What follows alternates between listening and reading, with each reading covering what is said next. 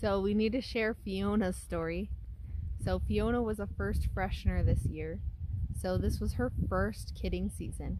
Um, I have a mentor that I follow. She usually keeps on um, her doelings with their mothers so that they can see their mother's kid the first time and see how everything goes down.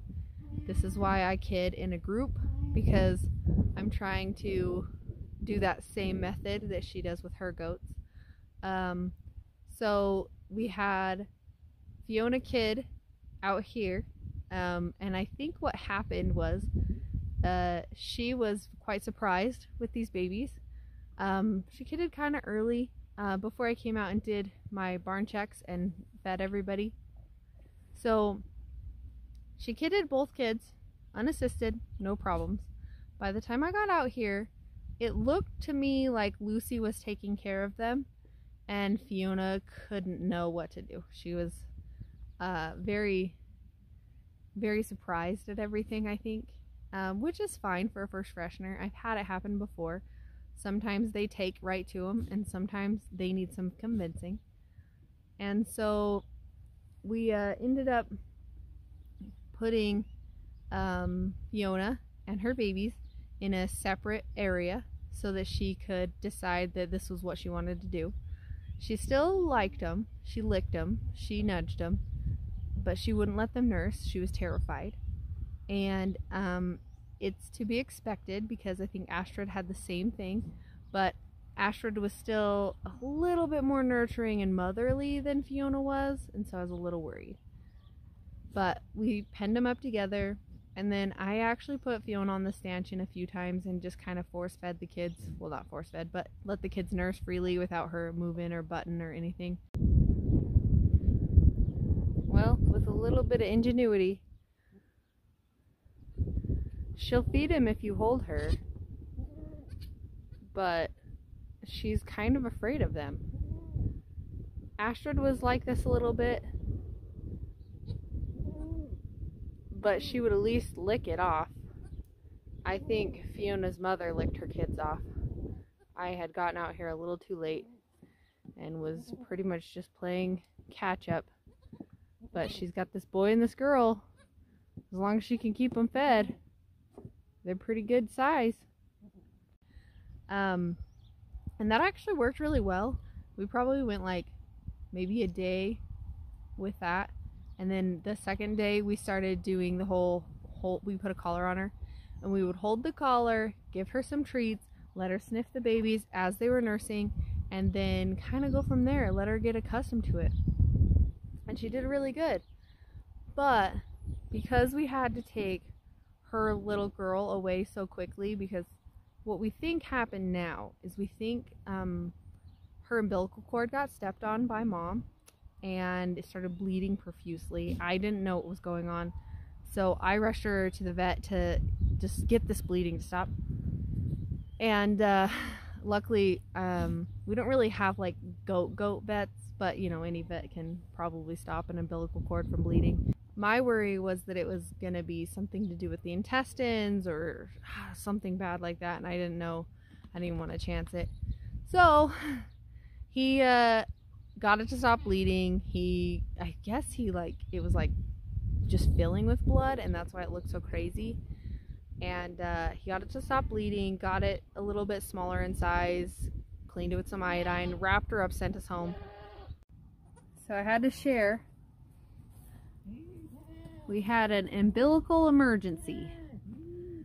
So the doctor thinks, or the vet thinks that maybe mom stepped on her umbilical cord because it started like engorging in blood and bleeding. So he went and took care of it for us. And hopefully it'll be all dried up tomorrow that it wasn't anything to do with intestines. Huh, little sweetie.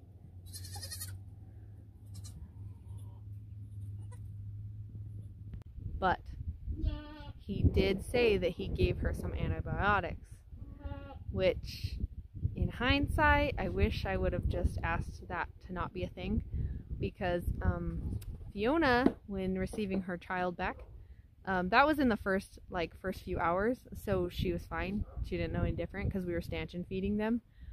But when she started becoming okay with the kids, I think the smell of the antibiotics on the girl threw her off, and she did not want to let the girl nurse any longer. So day two, we were uh, still stanchioning her so she would feed um, her daughter, but she would freely feed the boy. Alright, caught it in action. The boy is the only one brave enough. But he's a little violent.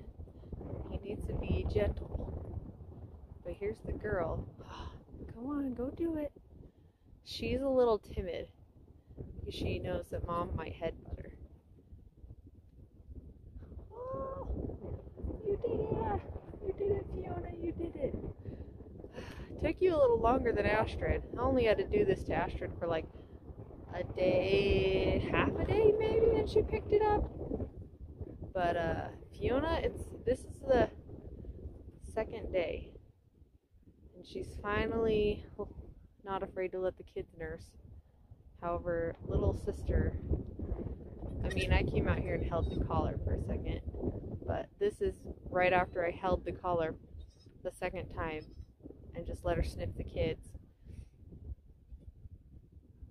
So it's kind of like the daughter kind of was this bottle baby personality because we'd come out and she was like, oh, these people mean food.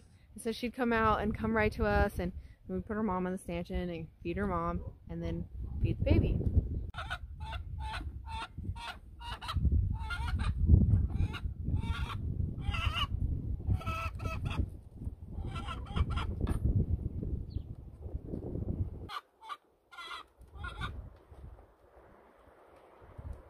So weird. She doesn't like her little girl.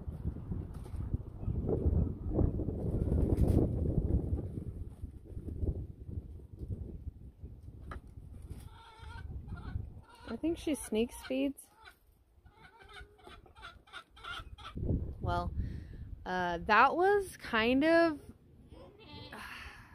that was rough to say the least because um, I have a full-time job And uh, the feedings when they were like four hours apart were really difficult. Five hours apart were better. But um, we just we just couldn't continue this. So um, what we decided to do was see if another doe would take her. This was the next one to kid. So the next goat to kid was Lucy. So we had to decide. It's uh, lunchtime. The dinner bell's ringing.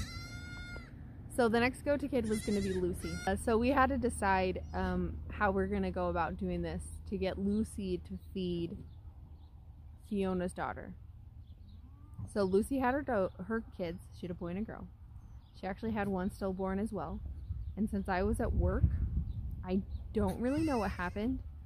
Um, they were all good size. Uh, two eight pounders, actually an eight and a half, an eight pounder, and a 7.8. Um, so all very good sized kids, but one of them just didn't make it. And I don't know why because I wasn't here. Maybe one day I can farm full time and not have to, you know, report to work. But for the time being, Still gotta go to work. the work pays for the farm. Anyways, so um, we snuck Opal over. We started calling this goat Opal, by the way, um, Fiona's daughter, just to kind of differentiate everything. Um, we snuck her over and rubbed her in Lucy's placenta. And the first day, Lucy was great.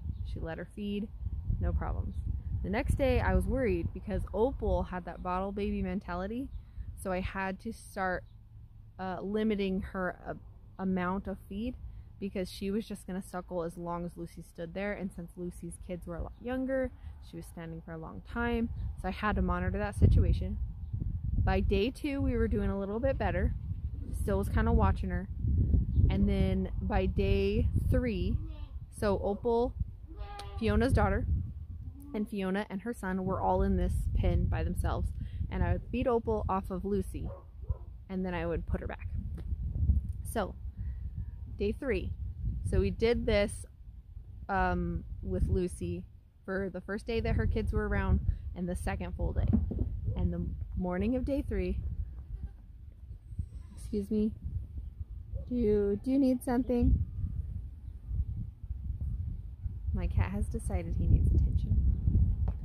Anyway, so day three, I get Fiona and both of her kids and let them back into the big pen because I know she'll feed her son. So that's not a problem at all. Um, and then great things were happening. Lucy would allow Fiona's little girl, Opal, to nurse, but only let her nurse when her kids were nursing. She couldn't just nurse all the time, which is good because I was super afraid that she's going to overfeed herself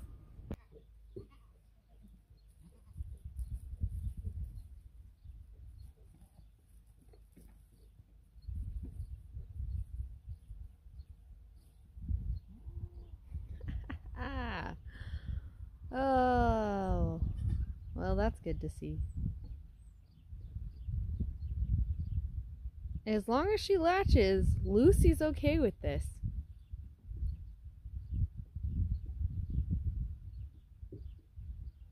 Well, the saga of Opal. Or if that's what we decide to name her. So now, these all these kids behind me we have a big happy family and uh, now Lucy who is the grandmother to Opal Fiona's daughter is feeding and taking care of Opal. So it's been great. Um, I've also seen a few other baby goats nurse off of the wrong moms. I think as long as they can sneak a feed anywhere they do. And I think that's just fine. But so that is the saga of Fiona and her kids. Um, I had it happen a little bit with Astrid. Her first kidding, she loved her baby, licked it, nurtured it, but was afraid to let it nurse. And I think it's just because they do have some really big udders, um, Lucy's line in particular. And um, so I think she just just had a really engorged udder and it was tender and she didn't want to let anyone touch it. But then once she realized, I think both of them, Fiona and Astrid, their first season, once they realized that the kid relieves the pressure, they were more on board with it. So everyone's happy, everyone's being fed. And uh, yeah, I couldn't be happier. I didn't want to have to sell a kid early because uh, bottle raising just doesn't work with my work schedule. But we are all good now. And all of my kids and all of my mamas, they're all one big happy family for the most part. I mean, you still have to watch them. Be careful. Uh, they definitely tolerate their kids a little bit, but as the other kids grow and understand who's who, they stay out of everybody's way. So it's all good. See, look up here. Prime example. Lucy is nursing her two kids plus her adopted kid, and there's one more in the mix there because those are four kids. So I guess if if she's gonna nurse more than her her two and her one adopted, it's fine. Who did she just nurse? Oh, she's got Astrid's boy. That one, that little one, that's Astrid's boy. Uh, well, you get it where you can, I guess.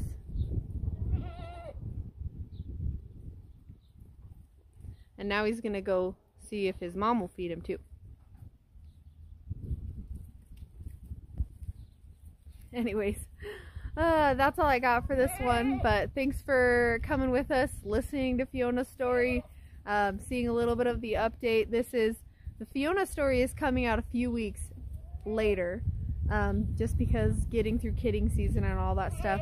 So it's a few weeks late. So her kids are probably a week and a half now. Um, I just had my last kid yesterday. So we'll be slowly getting those videos edited and put together now that I'm not on Goat Watch 24-7. We'll see you guys next time. Don't forget to subscribe.